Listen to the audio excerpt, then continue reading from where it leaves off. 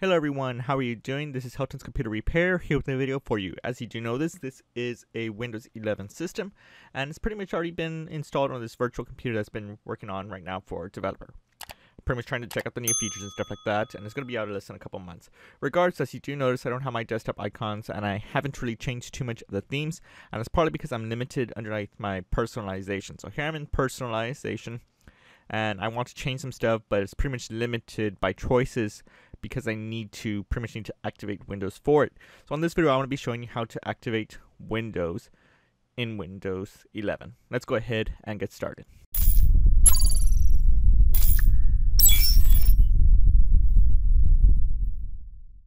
Alright guys, so pretty much all we pretty much have to do, I probably just need to go to search or the search bar, and I can probably just type in activate, but instead of doing that route, I can just show it to you ahead. Let me just type in activate this pretty much comes up. If yours doesn't want to come up, because this has been happening a little bit on Windows 10, Windows 10, Windows 11, pretty much, you're having some problems like this.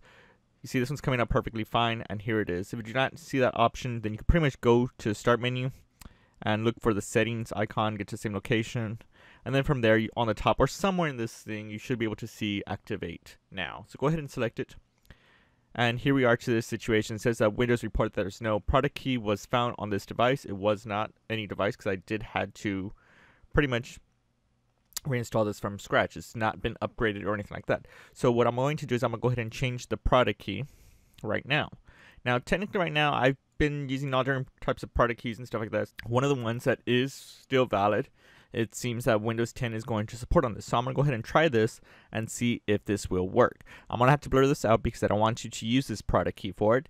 But let me go ahead and type it in, blur it out, and see if this will activate it. One second. Alright guys, so I pretty much typed it in. I don't know if this is going to work. If it doesn't work, I'm probably going to have to glitch this. I'm probably install Windows 10 first and then upgrade it to Windows 11 for this to work. But I'm going to go ahead and just give this a try. I'm going to press next and tells us by activating Windows you'll get the best experience and free from interruption. So let me go ahead and try and activate and let's see what this does. And it seems that Windows is activated, so that was successful. This that I installed right here was a Windows 10 Pro product key that I have purchased, and it was able for it to activate for Windows 11 Pro. And that's pretty much it. Thank you for watching from Helton's Computer Repair, and I will see you on the next video. Thanks for watching guys. If you disliked this video, then hit that button. But if you like it and you want to see more, hit that like button, get subscribed, comment, and tell us what other tech videos you want to see. Consider checking out our merch store, link in the video description. And for the rest, I will see you on the next video.